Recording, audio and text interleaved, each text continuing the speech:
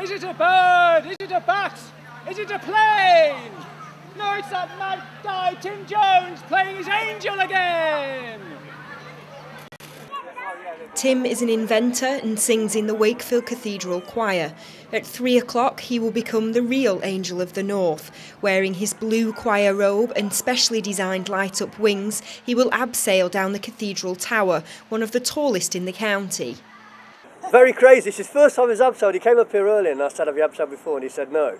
So for uh, to do to do that for his first abseil was quite brave, and, uh, he seems like a crazy guy. But yeah, it's a good effort. I think it's good. He's having a bit of fun with it, all for the um, you know raising money for charity. So I think it's great. Yeah, why not? Wind your foot. Your heels are over the edge. Why not? Or keep going. Going. That's it. Stop there. Right. What I'll get you to do, I'll get you to pay out, and I'll hold you tight so that you don't go any further.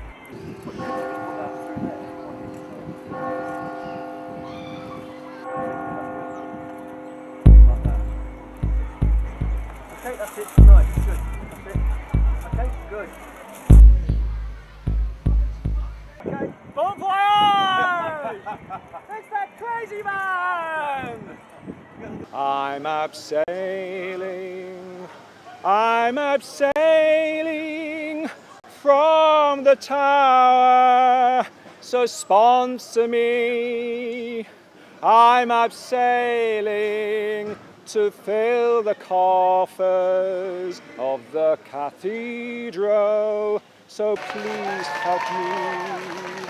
Tim has taken the plunge all in aid of Project 2013, a £3 million redevelopment fund aimed to revamp Wakefield's medieval cathedral.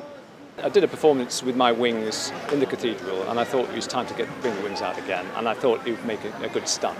And rather than just abseiling, which obviously you know anybody can do, I thought that if I wore my wings and actually sang a song on the way down, I'd probably attract more attention and get some more sponsorship. So that was the reason. It was also, I'm a bit of an exhibitionist.